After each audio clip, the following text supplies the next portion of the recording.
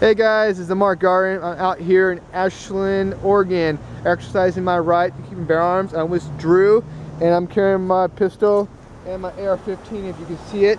And we just got done talking with a police officer, really good guy. We have a little chit chat. But besides that, here's Drew. He, he'd like to express his opinion of the day. Thanks, Warren. I am Drew. I've got a radio show called Double Crossed Radio on UCY.tv. Uh, I'm carrying my Argentine FM90 high power 9mm. Uh, we just had an encounter with, I wouldn't even call it an encounter. We went and spoke with Officer Smith from the Ashland Police Department and uh, had a great experience with him which I think is typical of yeah. the, the Ashland Police Department. I think those are some really good guys, and uh, they seem to be very respectful of uh, uh, the Second Amendment and uh, individual rights and Fresh freedoms. opinions and everything. They're exactly. Awesome. Yeah.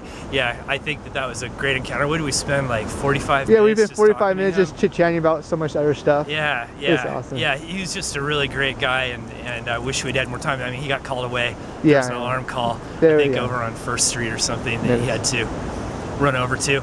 So I've been interviewing Warren for my radio show, and we were just doing an audio only recording while we've been walking through downtown Ashland uh, with our firearms and uh, just talking about um, the, the, Second Amendment and some of Warren's videos, which are here on his channel, Marked Guardian.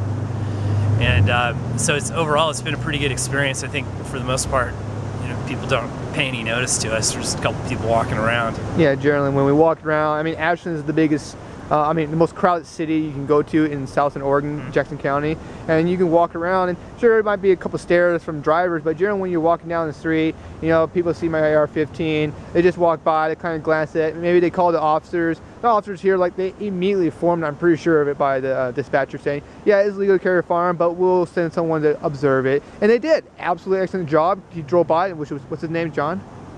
The officer's name?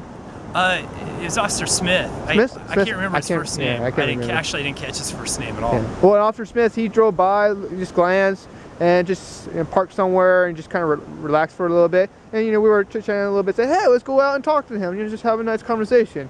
You know, get involved with the police officer, be like, eh, you know, a good community and good morals. So we went up to him. We had an excellent conversation. It went really good. He and knew Drew, who you were too. Yeah, he yeah. remembered you from your encounter. Yeah, I know. Uh, over by Safeway, which I think was a great encounter. I mean, I, Yeah. I thought that that was a textbook example Yes. of how it ought to be when when a citizen has a firearm.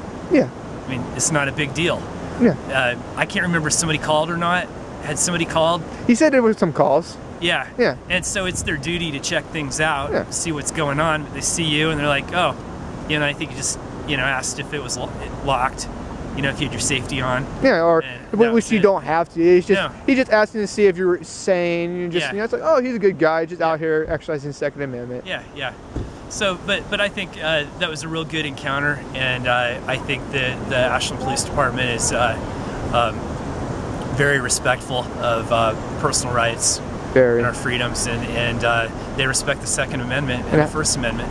Yes, the First Amendment right to freely express your opinions. So, what do you think? Do you think people should, you know, if they come to Southern Oregon, like Jackson County, do you think Ashland is a good place to settle? Oh yeah, I mean, th- this is considered to be a very liberal community here, but uh, I moved down here in 1999 from Seattle, and and I was born and raised in Southern Oregon, though. But um, I think this is a beautiful community. I actually prefer operating businesses here as opposed to Medford. Um, I, I think they're they're much more supportive of small business than Medford. I've had very bad experiences doing business in Medford, Yeah. and so you know I, I very much recommend this place or, or really many of the places here in Southern Oregon. I think are wonderful places to live in. I've lived in Talent. You know, I lived in Talent for seven years. Uh, I live in East Medford right now, actually, but I still operate businesses here in Ashland. So I think it's a wonderful community here. Good. All right. Any last words? Uh, just uh, uh, make sure if you're going to open carry that you're aware of the, the rules and laws in, in your community and that uh, safety is uh, your primary concern. And freedom too. And tune into Double Crossed Radio on UCY.tv every Thursday at 7 p.m. And there will be a link under my YouTube channel of that website and YouTube account. All right, guys. You have a good day. Take care. Thanks, Warren. You're welcome.